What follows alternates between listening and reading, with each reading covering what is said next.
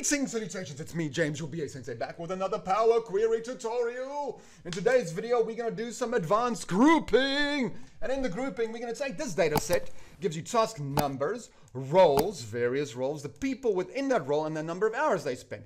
We're going to take this data set and create columns for all the various roles, and then comma delimit the people who are in those roles, and aggregate their number of hours. And we're going to do it across all tasks for all of these roles. So there's to be a lot of little tricks I'm to show you, but enough talking, let me show you how to do it. All right, as always, you click your data set, you go to data and you say from table arrange. That opens Power Query. Okay, the first thing I want to do is I want to group things by the task number. So I'm to show you how to do it in mQuery. So we're to go to advanced editor and I'm simply to say, yeah, let's do, uh, let's call this thing grouping. And in there, I'm going to say table group my source. How am I going to group it? Let's quickly then say we're going to group it by, let's just say this is group one and this is by task number. That's my comment. And we're going to group it by the task number. Yes. And what we're going to do is we're going to add a new column called data. And in the data, we'll have each statement. And in there, for now, I'm just going to put an underscore and we'll close it out and we'll simply say with the let in the end we're going to return the grouping and that will bring us a normal grouping by task number. You can see the table then summarizes everything for that task number. What I want to do now is I now want to group within this grouping I want to do another subgrouping but I want to group by role. So in here we're going to continue here under each and from after the each I'm just going to say let's call this group 2 this is by role. And in the each, we're going to start a nested let. So let and in always.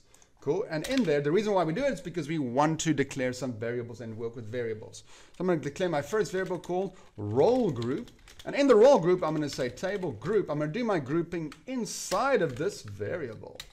What do we want to group it by? I want to group this by, uh, let's say, role. Yes. I need to first select what I want to group, and that would be the underscore, right?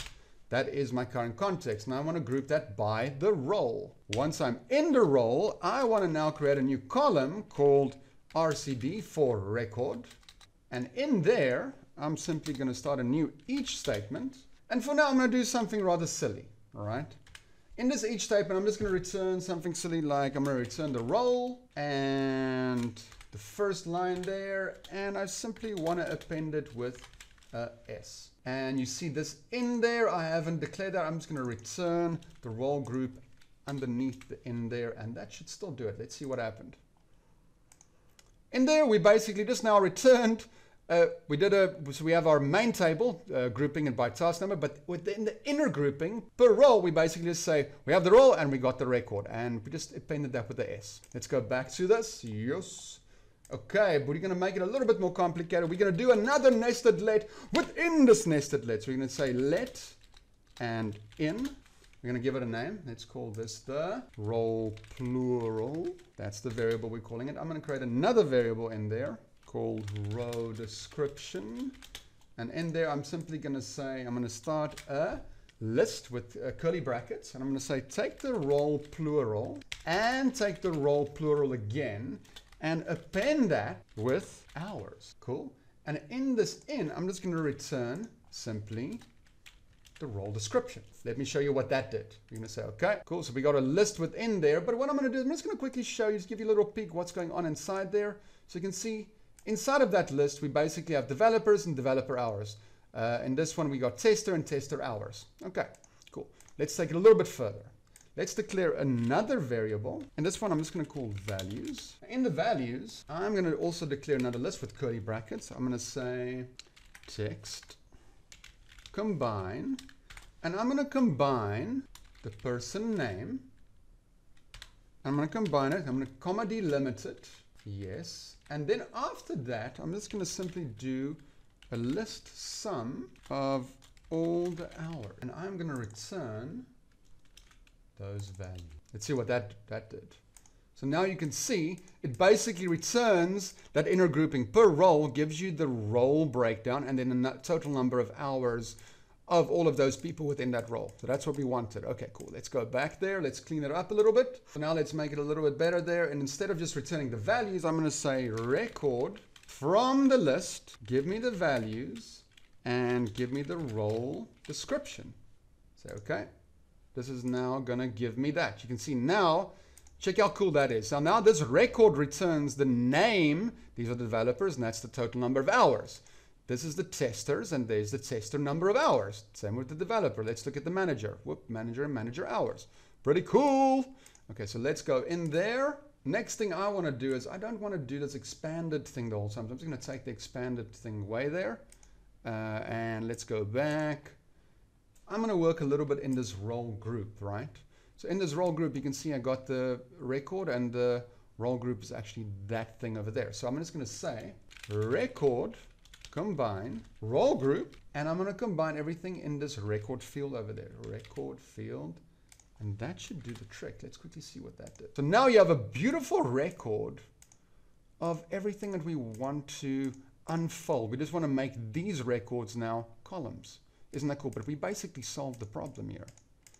That's pretty cool. Using records and dynamically naming the records, uh, the record headers over there. Cool. So now the next thing we want to do is we simply want to just expand over there. I'm going to do it with the user interface, expand there, say, okay, cool. This I know is wrong because we're the managers? This is not the right way to do it, but you can see we're going to use this function over there.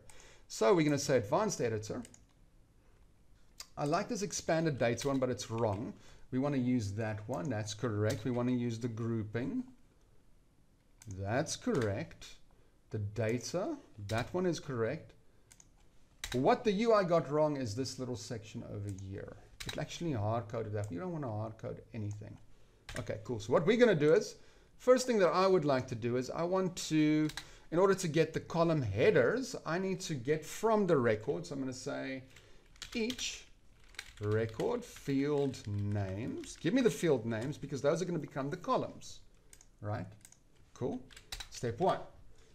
Second step is I want to grab everything from grouping the data. And I know this is a list, so I want to take this as a list. I'm going to say list transform.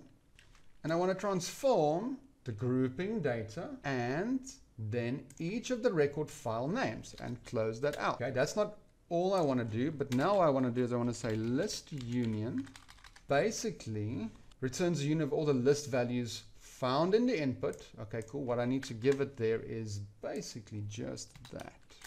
Close that out and that should do the trick. Let's quickly see. And there we go. You see, we actually picked it all up. We picked all of it up. So now we dynamically went from source and recreated using record magic. We kind of like pivoted the data and then have dynamic headers like that. Isn't that pretty cool? Isn't that cool? Let's return the data to Excel. And there it is. There's your solution. Well, I hope this video blew your mind of what you can do with nested lets within nested lets and then grouping within grouping. And then it brings you a beautiful dynamic data set like this. Until we meet again, BA Sensei signing out.